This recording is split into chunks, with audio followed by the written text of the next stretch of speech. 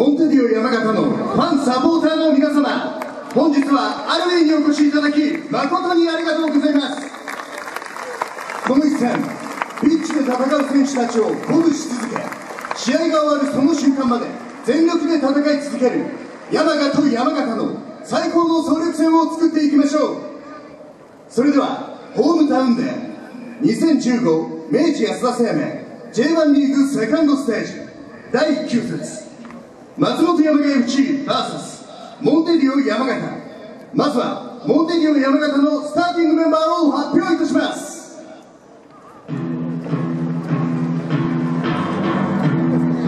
モンテディオ山形スターティングメンバー背番号1ゴールキーパー山岸典弘。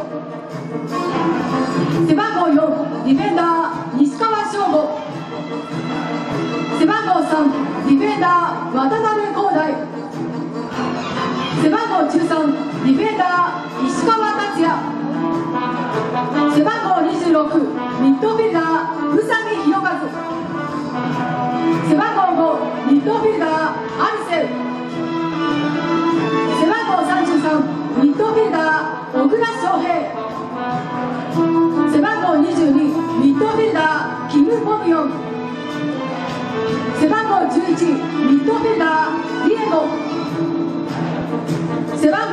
号24ミッドフィルダーロメロ・フランク。背番号34フォワード高崎宏之。続いてリザーブの紹介です。背番号21ゴールキーパー中村隼人。背番号6ディフェンダー山田匠背番号27ディフェンダー高木俊也背番号9ミッドフィルダー中島佑樹背番号15ミッドフィルダー宮坂正樹。背番号29ミッドフィルダー川西翔太。背番号8フォワード林良平。監督は石崎信弘監督です。